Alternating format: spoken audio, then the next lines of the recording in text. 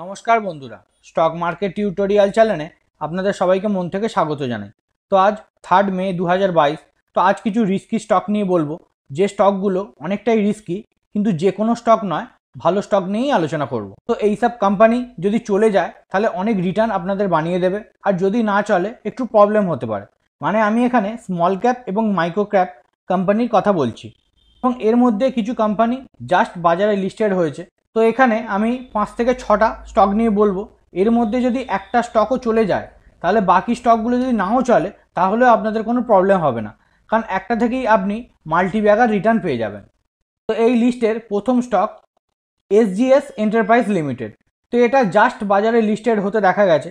আর এর যদি maximum chart pattern দেখি, কিছুই রিটার্ন আমাদের জেনারেট করে দেয়নি।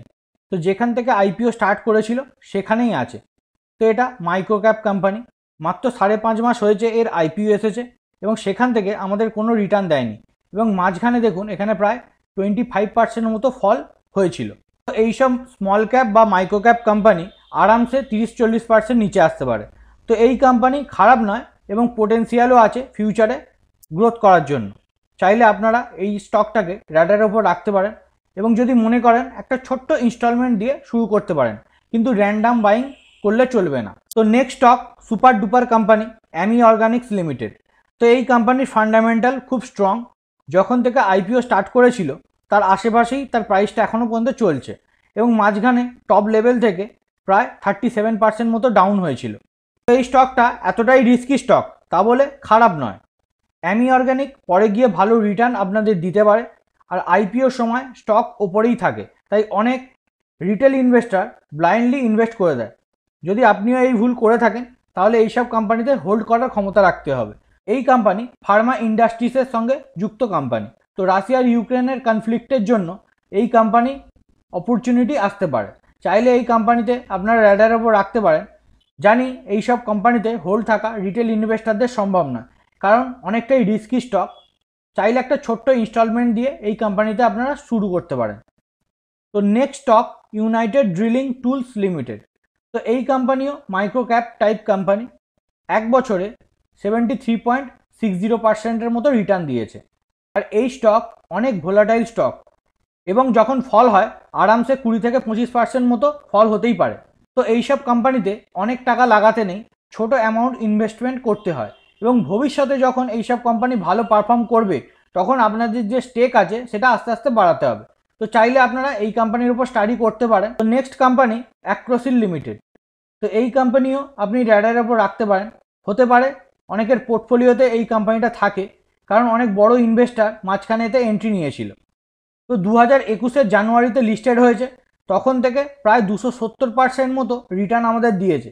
কিন্তু লাস্ট ছ মাসের যদি দেখি, তো সেখানে কোনো রিটার্ন আমাদের দেয়নি minus four point five two percent তো এর মধ্যে আমরা অনেক আপস অ্যান্ড ডাউনস দেখেছি তো এটা স্মল ক্যাপ কোম্পানি চাইলে একটু রিস্ক নিয়ে কন্টিনিউ করতে পারেন।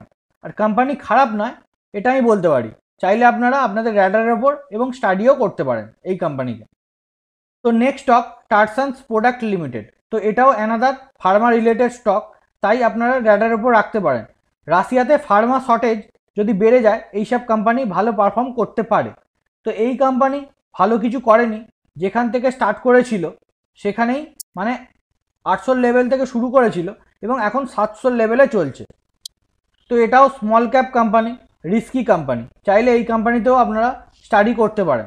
তো নেক্সট কোম্পানি লাওপালা লিমিটেড আমাদের রান্নাঘরে যেসব জিনিস ইউজ হয় কাপ প্লেট ডিনার সেট এইসব, আর এইসব কোম্পানির মধ্যেই আসে। তো এই স্টক স্মল ক্যাপ কোম্পানি ভলাটাইলও অনেক বেশি আছে। তো এক বছরে প্রায় ফর্টি পার্সেন্ট মতো রিটার্ন আমাদের দিয়েছে।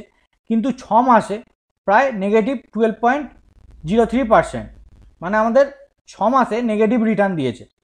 তো চাইলে আপনারা স্টাডি পারপাসের জন্য এই স্টকটাকে র্যাডার ওপর রাখতে পারেন।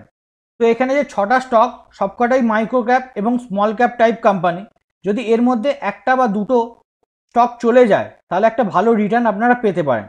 হতে পারে একশো পার্সেন্ট রিটার্ন পেলেন, বা হতে পারে সিক্সটি পার্সেন্ট ডাউন হয়ে গেল। তাই এগুলো অনেক রিস্কি স্টক লাস্টে এটাই বলব, এগুলো খারাপ কোম্পানি না এবং এদের মধ্যেও পোটেন্সিয়াল আছে। এখানে বড় অ্যামাউন্ট ইনভেস্ট করলে আপনাদের চলবে না। আপনাদের রিস্ক অনুযায়ী এক হাজার, দু হাজার বা পাঁচ হাজার টাকা ইনভেস্ট করতে পারেন। তো এখানে এসআইপি করলে চলবে না। মধ্যে যদি কোনো কোম্পানি খুব ভালো পারফর্ম করে লাগাতার মানে প্রত্যেক কোয়ার্টার অন কোয়ার্টার বা ইয়ারলি অন ইয়ারলি বেসিসে যদি ভালো পারফর্ম করে, তাহলে সেই কোম্পানিতে আপনারা রিইনভেস্ট করতে পারেন। না হলে কিন্তু ওয়ান টাইম ইনভেস্টমেন্ট করে ছেড়ে দিতে হবে। দ্যাটস ইট তো যদি আপনাদের এই ভিডিও ভালো লাগে, তাহলে অবশ্যই লাইক অ্যান্ড শেয়ার করে দেবেন। Good night